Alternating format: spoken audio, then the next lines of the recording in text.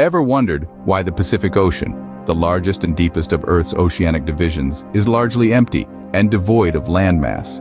It's an enigma that has intrigued many over the years. Spanning over 63 million square miles, the Pacific Ocean is more than twice the size of the world's second largest ocean. Its depths plunge to an astounding seven miles at its deepest point, the Mariana Trench. This vast body of water alone makes up more than one-third of Earth's surface and is so big that it could effortlessly engulf all of the world's landmass. Yet, surprisingly, it is largely isolated from the world's major continents, with its closest neighbors thousands of miles away. This isolation and vastness are not mere coincidences, but rather the result of intriguing geographical phenomena. And this is where our journey begins, into the depths of the Pacific's mystery. Now let's delve into the geographical factors that contribute to the Pacific Ocean's emptiness. The emptiness of the Pacific Ocean can be attributed to a series of geographical reasons. The Pacific Ocean, vast and deep blue, is a marvel of the natural world. But have you ever wondered why this largest of the Earth's oceans is mostly devoid of land and continents? Firstly, let's talk about the Pacific Ocean's location in relation to the Earth's tectonic plates. The Earth's crust, as you may know, is made up of several huge pieces known as tectonic plates, which are constantly moving. Straddling the Ring of Fire, the Pacific Ocean is surrounded by a major tectonic plate boundary, where the Pacific Plate meets numerous other plates.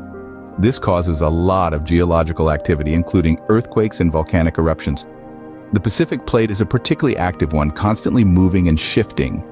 Where it meets other plates, it often goes beneath them, a process known as subduction.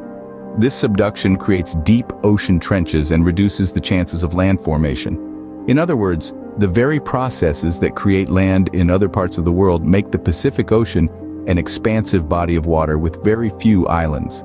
Furthermore, it's not just the ocean's tectonic activity that contributes to its emptiness. The Pacific Ocean's remoteness and harsh weather conditions make it a challenging place for human habitation. It's a long way from major population centers, and its weather can be incredibly unpredictable, with typhoons and storms being common occurrences. The Pacific Ocean's vastness also means it has a significant influence on the Earth's climate. Its warm waters can create weather patterns that affect the entire planet making it a key player in our planet's climate system. However, this can also contribute to its inhospitable nature, with extreme weather events being more likely in the vast expanse of the Pacific.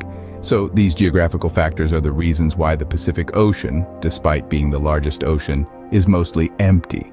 So, we've explored the geographical reasons behind the Pacific Ocean's vast emptiness. We delved into the location of tectonic plates and how their movement has limited land formation in the Pacific. We talked about subduction zones, those fascinating places where one tectonic plate sinks beneath another and how they contribute to the ocean's lack of land masses. We also touched on the remoteness of the Pacific and the harsh weather conditions that discourage human settlement. These factors contribute to the Pacific's reputation as a vast, almost alien world. But let's not forget, while the Pacific may seem empty to us, it's teeming with life beneath the waves. From the smallest plankton to the largest blue whale, this mighty ocean is home to a dazzling array of marine species. The Pacific Ocean's vast emptiness is a testament to the power and mystery of nature. It's a reminder of how much we still have to learn about our own planet.